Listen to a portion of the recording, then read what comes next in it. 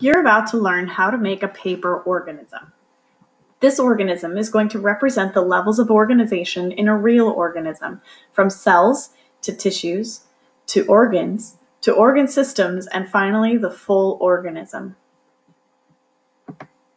Begin by folding your paper in half hamburger style.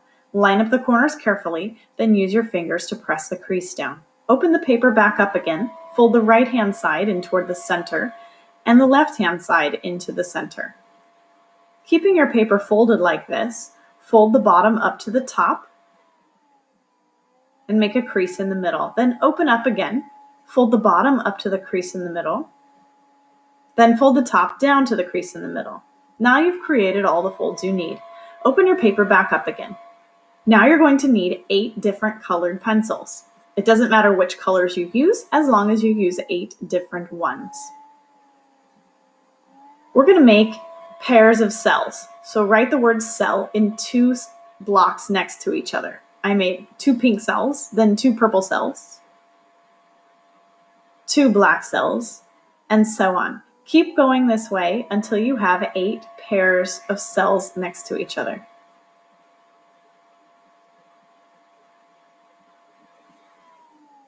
Now, when we put two or more cells of the same kind together, they form a tissue.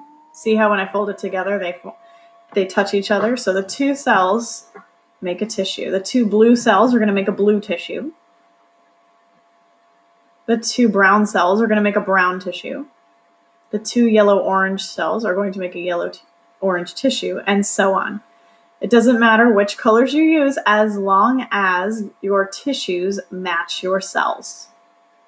Now, when we put two or more different tissues together to form to do a job, they form an organ. So the pink tissue and the purple tissue are going to work together in an organ. So my organ is going to be pink and purple.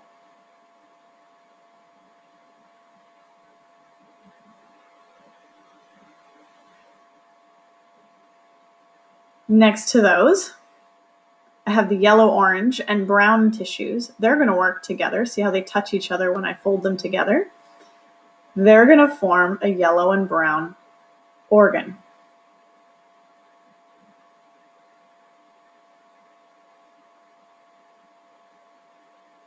Continue this way until your paper organism has four organs. Again, it doesn't matter which colors you chose as long as you match the colors that you started with. The colors that are in your tissues that touch each other are going to work together to form an organ so make your colors match. Now, two or more organs that work together to perform a function, like digestion or respiration, form an organ system. So on the left-hand side, I have the pink and purple organ and the orange and black organ. So I'll use pink and purple to write the word organ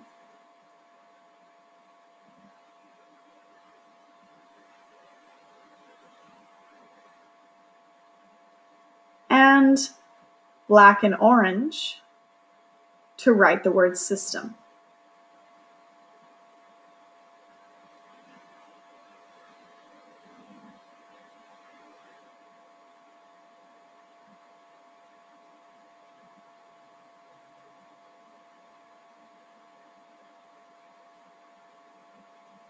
My paper organism is only going to have two organ systems.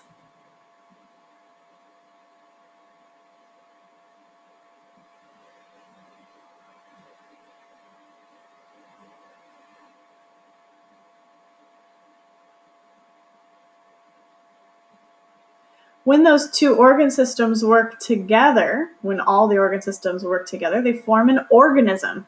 Organism has eight letters and you used eight colors, so use each color one time. On the back of your paper organism, don't forget to put your name and period.